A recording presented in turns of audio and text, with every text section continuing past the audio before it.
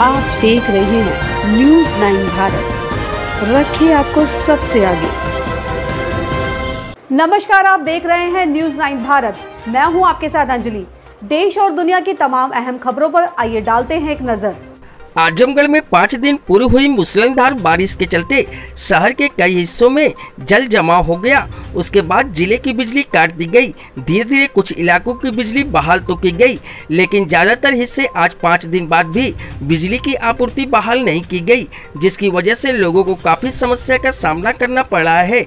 लोगों के घरों में पीने के पानी तक का संकट पैदा हो गया है।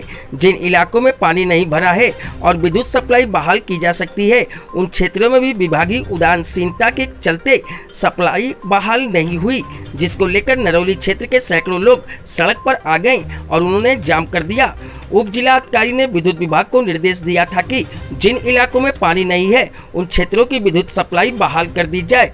उप जिलाधिकारी के आदेश के बाद जेई और एसडीओ मौके पर पहुँचे उन्होंने जाम करने से मना किया और कहा कि आधे घंटे बाद विद्युत आपूर्ति बहाल कर दी जाएगी, लेकिन 24 घंटे बीत जाने के बाद भी उन क्षेत्रों की विद्युत सप्लाई बहाल नहीं की गई। विद्युत विभाग के इस उदासीनता पूर्ण और रवैया से लोगों में काफ़ी आक्रोश बढ़ता जा रहा है। Bureau report, Amit Kharwar.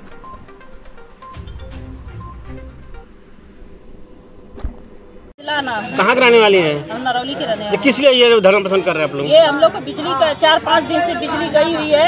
अभी आज तक नहीं है। हम लोग पानी पीना एकदम हम लोग बहुत परेशान हुए हैं। हाँ। खाना तक नहीं बन रहा है। पानी नहीं है तो खाना कहाँ से बनेगा? बच्चे परेशान है पानी का ज़रूरत है बिजली का। हाँ, क्या चाहते हैं आप लोग? हैं? हम लोग को बनना चाहिए। हम लोग को बिजली आनी चाहिए बस। और यही चाहते हैं हम लोग।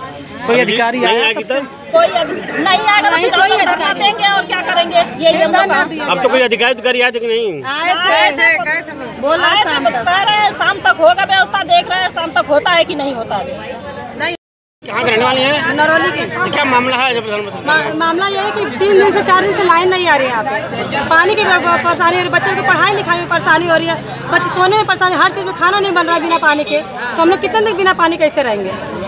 अच्छा तो कोई आया कि नहीं? बिजली विभाग का आदमी? आया था था।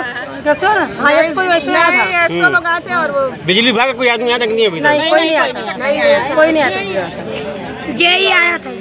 क्या चाहते हैं आप लोग हम लोग ये चाहते हैं कि हम लोग लाइन आ जाए हम लोग यहाँ पे। नहीं लोग पानी की व्यवस्था अगर नहीं आएगी तो? कोई धरना प्रदर्शन देंगे हम लोग नहीं आएँगे तो। ऐसे ही तमाम खबरों के लिए बने रहिए हमारे साथ न्यूज़ नाइन भारत पर। अब चाहूँगी इजाज़त नमस्कार।